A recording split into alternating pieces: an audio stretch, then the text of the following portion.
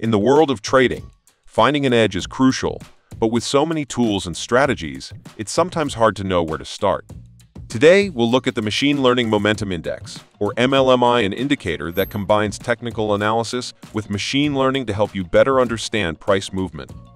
This indicator helps us identify overbought and oversold levels and detect possible price reversals by combining RSI data with the power of machine learning. In this way, the MLMI gives you a more accurate signal of overbought and oversold levels. To add this indicator, search for Machine Learning Momentum Index by TradingView Zurze Yearman.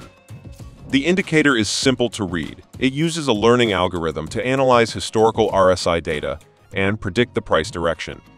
This prediction is represented as a blue line called MLMI prediction. On this line are shaded shadows indicating the direction of the algorithm's prediction. Green indicates a bearish prediction, and red indicates a bullish prediction.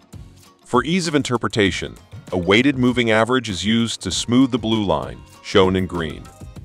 The indicator also displays overbought and oversold levels in red and green to help identify possible price reversals. The prediction line ranges from negative 100 to 100, where 0 indicates that the algorithm has no clear prediction. Positive values from 1 to 100 indicate a bullish prediction, and negative values from negative 1 to negative 100 indicate a bearish prediction. The higher or lower the value, the stronger the price strength. When the green line crosses the prediction line downwards, it indicates that the trend is changing from bearish to bullish. The algorithm predicts an uptrend, and the green mean confirms this prediction.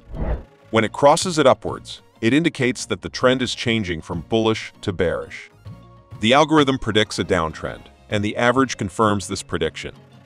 A simple way to make use of this indicator is to look for an asset where the indicator is shaded, indicating that the price is overbought or oversold. Then wait for the green mean to cross the blue prediction line. That would be the confirmation of a trend change and entry signal, either bullish or bearish. To manage risk in a trade with the MLMI indicator, you can place the stop loss above the last high for sell trades or below the last low for buy trades.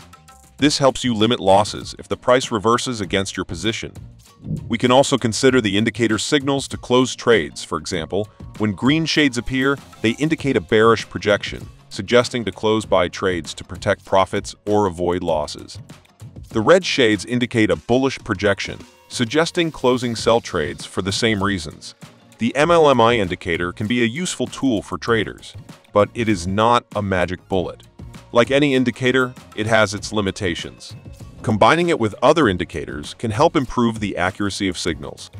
It is important to remember that trading involves risk and that there is no strategy that guarantees profits. Thanks for watching and don't forget to subscribe to the channel.